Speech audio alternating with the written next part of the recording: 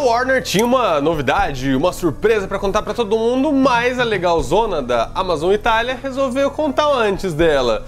Olha que bacana, é tipo aquele amigo seu estraga prazer ou que conta spoiler que ninguém gosta. Mas é o seguinte, o que aconteceu? Lego Star Wars The Force Awakens vai ser lançado no dia 28 de junho. É isso que saiu na Amazon Itália. Inclusive, eles soltaram um teaser. Não sei como eles tiveram acesso a esse teaser, mas dá uma olhada nas imagens. Olha só, mostra a mesma coisa que acontece em todos os jogos da série de Lego.